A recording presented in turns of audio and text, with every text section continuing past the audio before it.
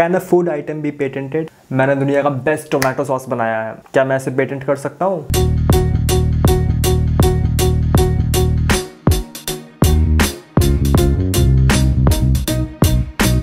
To know more about it we need to know about the criterias under which anything can be patented there are broadly four criterias under which any item can be patented number one subject matter there are many things which cannot be patented like it cannot be patented no matter what. Did you invent a new mathematical formula? Can I patent it? No. You can't. Did you invent a new way to do a surgery upon someone? Can it be patented? Again, no. बहुत सारी ऐसी चीज़ें होती हैं जिसको हम patent नहीं कर सकते हैं अगर आपको लिस्ट देखना है कौन सी ऐसी चीज़ें हैं जिसको हम पेटेंट कर सकते हैं किसको हम पेटेंट नहीं कर सकते हैं तो एक एक्सप्लिसिट लिस्ट दी गई है chapter two of trademark act के अंदर जिसमें चीज़ें बताई गई है कि किस किस चीज़ों को हम ट्रेडमार्क नहीं कर सकते हैं एंड थैंक गॉड उसमें फ़ूड रेसिपी नहीं है सो so, मेरा केचप सॉस पेटेंट हो जाएगा जब मैं ये बोल रहा हूँ कि हम फ़ूड रेसिपी को पेटेंट कर सकते हैं इसका मतलब ये नहीं है कि तुम कोई भी टोमेटो केचप बना दो और तुम इसे पेटेंट कर दो।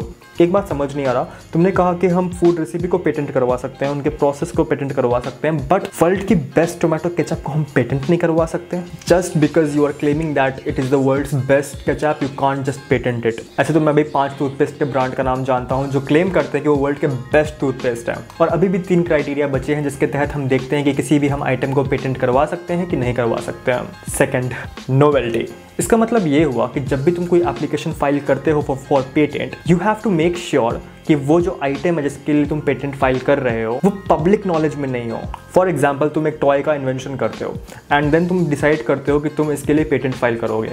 तुम जैसे ही अपने घर से बाहर निकलते हो और तुम देखते हो कि नेबरहुड में बच्चे सेम टॉय के साथ खेल रहे हैं सेम नहीं तो सिमिलर टॉय के साथ खेल रहे हैं। तो that is non novel third non obviousness इसका मतलब ये होना चाहिए कि जब भी कोई इन्वेंशन हो रहा है तो ऑब्वियस नहीं होनी चाहिए लोगों के लिए खासकर सेम इंडस्ट्री के लोग के लिए। फॉर एग्ज़ाम्पल एक लॉयर है and he decide to make a device for other lawyers which will make the life of other lawyer very easy right and then he make such device and then later on realizes that other lawyers वो कह रहे हैं कि, यार, ये तो कोई normal जुगाड़ है, ये कोई इन्वेंशन नहीं है, ये तो बहुत कॉमन सेंस है। तो ऐसी चीज़ों को भी हम पेटेंट नहीं कर सकते हैं कि जो बहुत ऑब्वियस हो लोगों के लिए। इन शॉर्ट जुगाड़। हो fourth fourth is industrial application in short you could patent your invention if it could be manufactured at first place अब ऐसा है नहीं कि तुम्हारे दिमाग में कोई आइडिया आया कुछ एब्स्ट्रैक्ट आइडिया आया जो कि हम मटेरियलाइज कर ही नहीं सकते हैं उनका मैन्युफैक्चर कर नहीं सकते हैं इंडस्ट्रियली वो एप्लीकेबल होगा ही नहीं तो ऐसी चीज़ों का भी हम पेटेंट नहीं कर सकते हैं। Now coming to the question क्या हम फ़ूड रेसिपी को पेटेंट कर सकते हैं कि नहीं कर सकते हैं यस yes, हम फ़ूड रेसिपी को पेटेंट कर सकते हैं अगर ये चार ऊपर के क्राइटेरिया जो है इनको ये फॉलो करता है। You can patent the process of preparing the deep fried potato chips did you improve the manufacturing process of tea yes. That manufacturing process can actually be patented. And you could also patent your chocolate recipe. तो आशा करता हूँ, जब video देखने से पहले कोई भी डाउट रहा होगा, वो इस वीडियो में क्लियर हो गया होगा। वीडियो अच्छा लगा वीडियो को लाइक करो।